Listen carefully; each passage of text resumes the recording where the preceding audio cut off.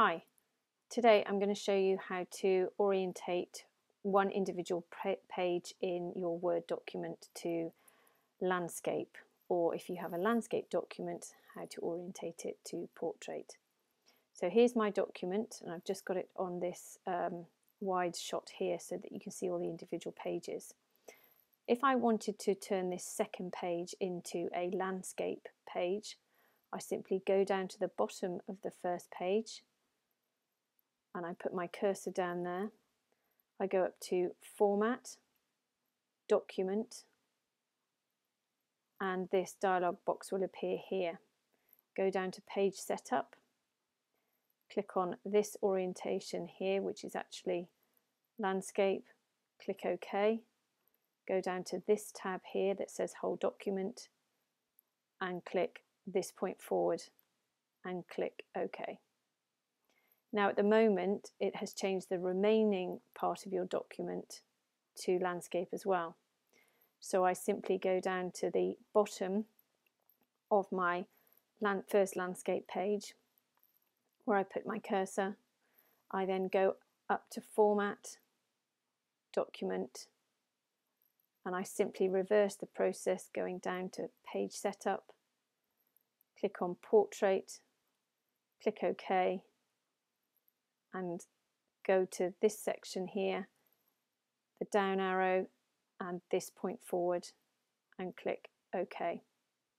And there you have one landscape page inserted into your portrait document.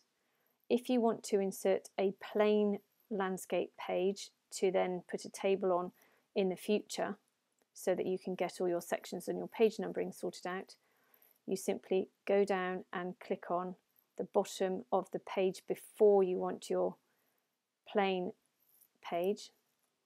You go up to Insert, Page Break. We just take those off. And then at the bottom of the previous page, you go to Format, Document,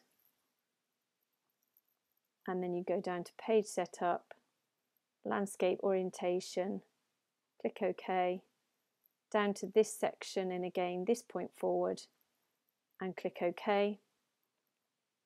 Okay, and again the rest of your document has gone to landscape mode, but let me just show you what you have to do in order to get the rest of this document back into portrait mode.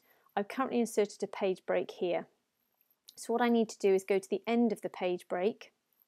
If you do this at the beginning of the page break, it will turn all of the rest of your document back into portrait mode. So click at the end of your page break and you can see that by clicking on this icon here. And then go up to Format, Document,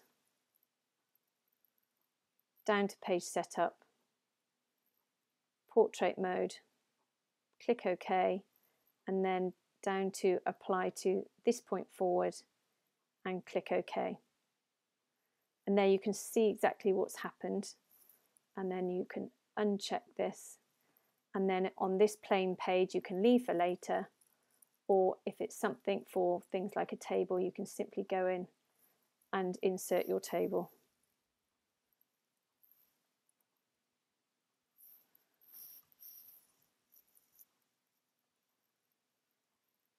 There you go.